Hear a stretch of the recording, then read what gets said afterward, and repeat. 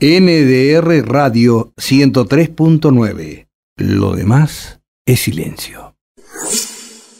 Está guardando en línea ya y vamos a conversar con un colega que fue muy crítico, no solo con la politización y la manipulación política de esta pandemia, sino también crítico con el origen, el desarrollo, las causas y los efectos de este COVID-19 que ya lleva nueve meses, por lo menos en la Argentina, de, digamos, cierto aislamiento o distanciamiento, depende del argot del poder político. Vamos a conversar, decía, con un comunicador, Fernando Ferreira, uruguayo de nacimiento, pero que se desempeña en el Paraguay. Fernando, muchísimas gracias por atendernos. ¿Cómo te va, Gustavo? Buen día, muchas gracias por el contacto y bueno, ya tenemos nueve meses, ya estamos para parir, ¿verdad? Claro. Tendríamos que entrar a la sala de parto. Claro. ¿Cuál es, primero te quiero preguntar cuál es la situación actual en cuanto a lo que estamos hablando en Paraguay.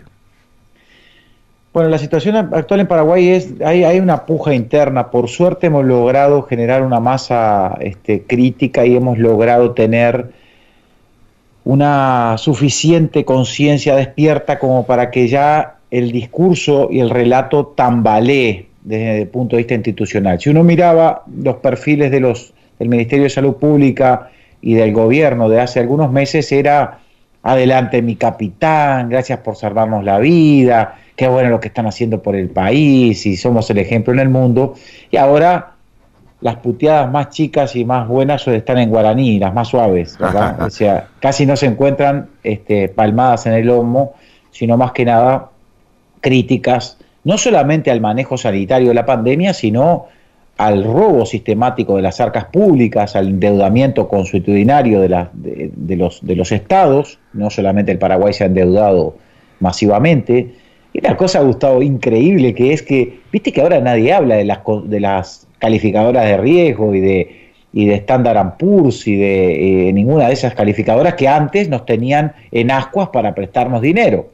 Entonces era, bueno, si se portan bien, si hacen los deberes para el Fondo Monetario, si ustedes arreglan las cuentas públicas, entonces ahí sí llega el dinero internacional, eso quiere decir que el país hace las cosas bien. Bueno, ahora te tiran el dinero por la cabeza a pesar de que los países estaban eh, teniendo presupuestos de 30% por debajo del presupuesto, este, perdón, la recaudación baja 30-40%, este, Argentina llegó al 50% de pobres, igual el dinero internacional fluye este, como nunca, lo que quiere decir que era todo una gran mentira y lo que pasó es que todos estos años nos estuvieron encaminando para ahorcarnos para que perdiéramos soberanía, perdiéramos eh, capacidad de controlar nuestros recursos y sobre todo para que ajustáramos la economía a los intereses de esta gente, con el miedo de que si no, no te prestan. Bueno, ahora estamos quebrados y nos siguen prestando igual. Sí, y, culturalmente, eh, Fernando, también para crear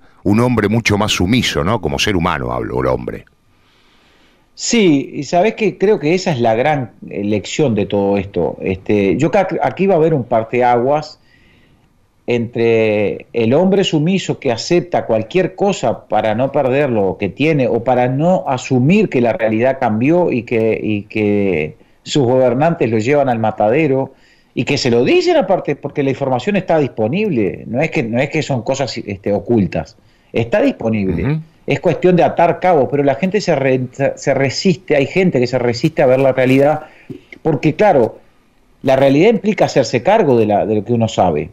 ¿Qué pasa cuando yo sé que los gobernantes me están llevando al matadero? ¿Qué pasa cuando yo sé que me están vendiendo, que me, que me han traicionado?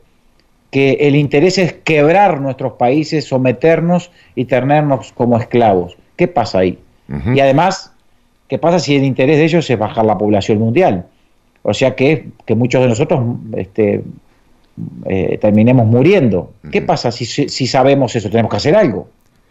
Vos sabés, Hay gente que no quiere asumir eso. Vos sabés, Fernando, que aquí en la Argentina ha tomado un auge la posibilidad supuesta, digo yo, de la llegada de alguna vacuna contra el coronavirus, ¿no? Contra el COVID-19 una vacuna que ha tenido un montón de dichos y desmentidas en cuanto a la cantidad de dosis, al tiempo de llegada, incluso, bueno, sabemos que hay infinidad de incertidumbres con respecto a la factibilidad que tiene esta vacuna, ¿no?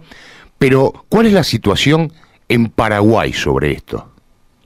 La misma, porque en realidad todo eso es viru viru.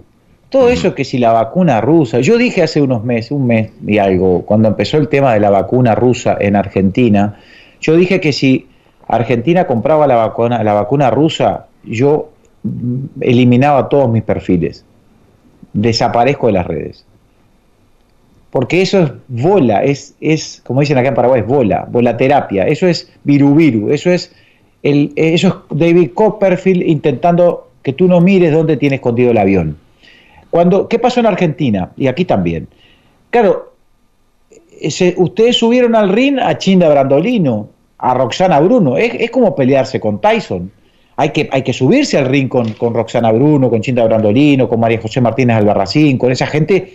No es fácil que estos, que estos idiotas, que estos este, vendehumo de los científicos que están comandando la pandemia se, se pongan a discutir con estas mujeres.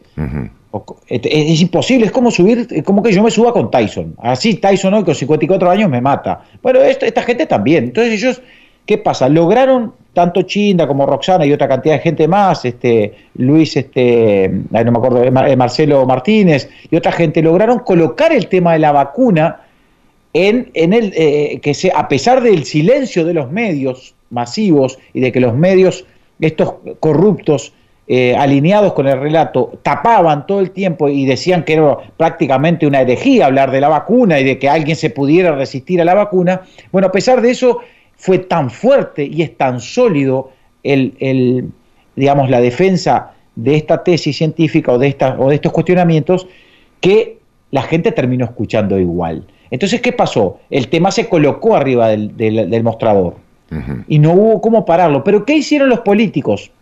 Lo mismo que hicieron en la película La dictadura perfecta mexicana, esta que está muy buena, este, lo que hacen siempre es, como no pueden quitar el tema del foco, porque ya no lo pueden borrar, no lo pueden silenciar, y las plataformas no lo podían terminar de borrar a, este, a los contenidos de toda esta gente, lo que hicieron fue hablar ellos del tema y colocar otro tipo de, o sea, cambiar el eje, pero seguir hablando de vacunas, pero decir, bueno, es la rusa, la rusa es buena, la rusa, o sea, empezaron a cambiar el eje. En vez de decir que no es necesario vacunarse, si es, si es necesario o no vacunarse, ellos empezaron a discutir que si la rusa, que si la AstraZeneca, que si la Moderna. Entonces, ahí el eje se cambió.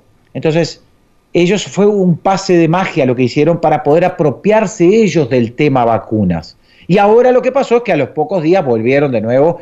Nosotros ya sabemos que la, la parte logística de las vacunas está en proceso yo tengo información de Uruguay, de Paraguay, que ya se está trabajando con los ministerios de salud, las, diferentes empresas están eh, eh, coordinando la logística para, hacer el proceso de vacunación, las campañas, cuánto cuestan, cuánto cuestan las dosis, cómo se van a hacer, cómo es la cadena de frío. Ellos ya están trabajando. Yo tengo documentos, eh, digamos, que obviamente no voy a revelar la fuente de quién me los envió, pero gente del ministerio, en ambos casos, donde ya se está haciendo trabajos logísticos con los ministerios, quién es el proveedor, cómo se va a hacer, todo se sabe. Eh, Paraguay, por lo menos, y Uruguay va a ser el marzo, yo no me acuerdo, ahora tengo el calendario, Argentina no me acuerdo cuándo empieza. Bueno, Argentina según el relato, según las marchas y contramarchas. Aquí se había dicho, por ejemplo, en el territorio de la provincia de Buenos Aires, que a partir de enero llegaba la primera partida de dos millones de dosis. Sí. Hoy, hoy nos enteramos que desde la misma cartera de salud provincial están diciendo que la mayor cantidad de gente, habitante de la provincia de Buenos Aires, recién a mediados de 2021 va a empezar a vacunarse. Cabezón. Sí, perdón, Pelado y Fer, por la interrupción, también no hay que soslayar que a mediados de noviembre el gobierno nacional había anunciado la adquisición para diciembre de 25 millones de dosis de la vacuna rusa que en primera instancia iban a llegar 10 y que las otras 15 al principio de enero.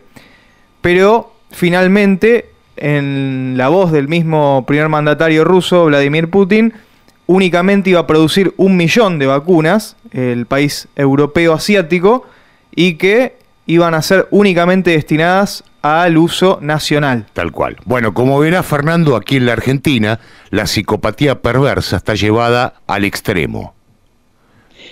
Es increíble, pero esto lo que, lo que eh, todo esto es, es el mismo cuento que pasó aquí en Paraguay con el tema de Bolsonaro y Marito Abdo. Cuando ¿Qué pasa?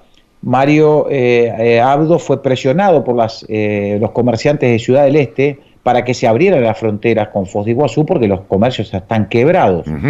Entonces, ante la, ante la, presión, el presidente accedió, dijo, ok, ok, voy a hablar con, con Bolsonaro y vamos a abrir. Después la prensa paraguaya decía, bueno, hablamos con, habló, el presidente habló con Bolsonaro y Bolsonaro pidió un mes para ajustar los protocolos.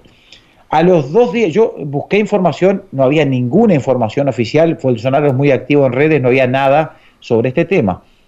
A, los dos días, Bolsonaro publica en sus redes que él tiene la disposición de abrir desde marzo. O sea, si fuera por él, nunca hubiera cerrado las fronteras. Entonces, eh, ahí eh, tuvieron que, rever, que, revisar porque quedaron mal parados. Y, es un poco lo que pasó con la vacuna rusa. A ver, muchachos, esto se sabía de hace tiempo. Nadie iba a comprar vacunas rusas. Esto es viruviru, esto, esto es el show de la magia de la política. Los políticos son especialistas en el juego de la mosqueta, en ponerte algo para que te entretengas a discutir que si izquierda, que si derecha, que si el peronismo, que si el radicalismo, que si esto, que si lo otro, siempre te tienen entretenido discutiendo mientras que ellos hacen lo que tienen que hacer, que es lo que va de fondo. La ley del aborto en Argentina, el tema de la vacuna obligatoria, la logística de la vacuna y el proceso de la campaña de vacunación, que es la que viene ahora, eh, antes, previo a la vacunación, va a venir una campaña. Y la campaña va a venir acompañado de terror mediático. Ahí ustedes van a ver este, van a ver cómo se rasgan las vestiduras los comunicadores y los, y los científicos, estos coludidos que tenemos, estos, estos mercenarios, y los políticos para hacer un show para que la gente termine con el miedo de salir en estampida a buscar que le vacunen. Y entonces la, gran mayoría de la gente se va a vacunar. Claro, claro. Además, bueno, aquí te digo particularmente en los últimos días, también comenzaron con una mm, profundización del relato, si se quiere, admitiendo o generando ese temor de que es muy posible que este país, Argentina, no esté exento de una segunda ola de contagio. Vos fíjate, momentos, además que como contradicción, si se quiere, han abierto la temporada veraniega.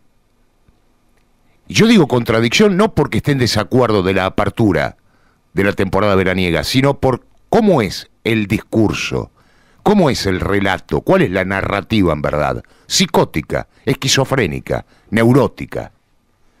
Sí, y además que cuenta con el beneplácito de la gente que no quiere despertarse, eso, eso es lo peor, porque la verdad es que si uno le, puede, le empieza a contar a su hijo, de, yo tengo un hijo de nueve años, la contradicción es tan flagrante que no es necesario ser un bioquímico ni, ni un médico para darse cuenta que lo están engañando, o sea, pero, pero bueno, la gente prefiere creer en lo que dicen los políticos, a pesar de que los políticos siempre nos han mentido. Lo cierto y lo concreto es que Argentina es el peor país del mundo en el manejo de la pandemia y ha sido el que ha tenido en Latinoamérica, conjuntamente con Perú, las este, medidas sanitarias más draconianas. Argentina cerró la frontera con muy pocos casos y hoy con las fronteras cerradas, pero no solamente con las fronteras limítrofes con otros países, con las fronteras de sus propios eh, este, provincias y con el cero movimiento, ha logrado posicionar al país casi que campeón mundial de muertes y contagios. Quiere decir que hicieron todo mal.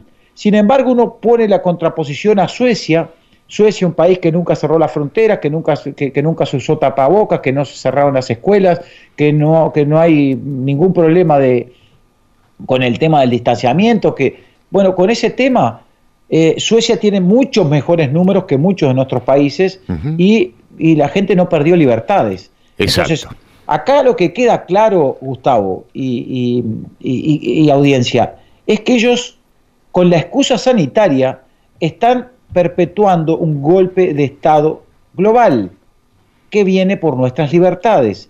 El tapabocas en la calle, es el, es el, es el, es el termómetro del sometimiento de la población. Ellos se ríen cuando ven a la gente en la calle con los tapabocas, porque ven cuanto más tapabocas, más sometidos. Más gente aceptando sin chistar la, la, la eh, violación de todos los derechos individuales y la eh, aceptación de esta aberración. Los números eh, bueno, en los números argentinos no se puede confiar eh, porque todo es coronavirus, eh, pero bueno, sí, pues, o sea, Ginés González y, el, gobierno de, Fernández ha, tenido la, grandeza de eliminar casi todas las enfermedades. Ahora es, todo coronavirus. Un, gran logro sanitario. Sí, sí, sí. Todos los, otros virus se fueron, se asustan y se van. Este, ellos están hablando de, corrimiento, de que ahora el virus este vino para quedarse y además este, desplazó a otros virus. Tal cual. es aberración tras aberración. No se puede ni siquiera. Una persona con un poquito de, biología en el secundario ya les puede discutir a estos burros. Es increíble. La última consulta, por supuesto, agradeciéndote, Fernando, la deferencia que tuviste nuevamente de conversar con nosotros. ¿En Paraguay ocurre como en Argentina, por ejemplo, ya acabaste de tapabocas en la calle, que se multa a aquel que no lo porte? Bueno, mira, está la ley. Lo que pasa es que eh, hace poco se votó la ley, porque había un decreto de la ley del uso obligatorio de tapabocas, pero ¿qué pasa? La gente eh, no, no, hacía mucho caso o empezó a hacer menos caso, digamos, y lo que pasó sí fue que eh, ese decreto del principio de la pandemia fue este, llevado a una ley a través de un senador que se llama Enrique Herrera, lo quiero nombrar por, para que la gente se acuerde de los, de los representantes despreciables que tienen los países. Ese senador, eh, una ley que si Cantinflas la hubiera escrito, este, hubiera sido más bien redactada. Es, una aberración literaria. Eh, bueno, escriben con los pies. Son gente tan burra que ni siquiera saben escribir.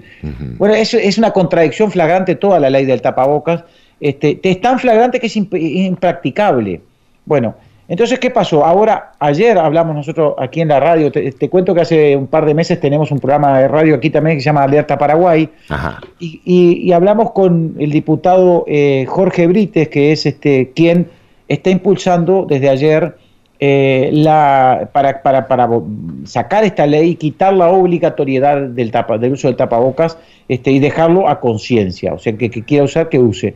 Este, así que ahora, bueno, obviamente la prensa alineada al relato lo está descuartizando, este, y bueno, pero lo cierto es que también ha salido algún, algún periodista connotado aquí a, apoyar al, diputado, pero bueno tanto la clase política de derecha, de izquierda, de oposición y de gobierno le están pegando, eh, pero la, población está dividida, 50 y 50 apoyando este, esta, esta nueva este, intentona de por lo menos que, no sea obligatorio el uso del tapabocas. Pero la multa no corre, digamos. Está bien. Eh, para despedirte, Fernando, a manera de juego, si querés, te conmino a que contestes con un monosílabo y si querés hasta con una entonación irónica, a dos preguntas que te voy a hacer. Mm. ¿Se exhorta desde el ámbito del poder en Paraguay al lavado de manos para prevenir los contagios? Sí. Sí. Te pregunto, ¿toda la población paraguaya tiene acceso al agua? Eh, no. Fernando, te mando un abrazo. Muchísimas gracias, como siempre. Un abrazo grande, Gustavo. Un placer, como siempre. Un gran abrazo a, los argentinos y por favor, sigue con este trabajo. A la larga se van a ver cuántos pares son tres botas.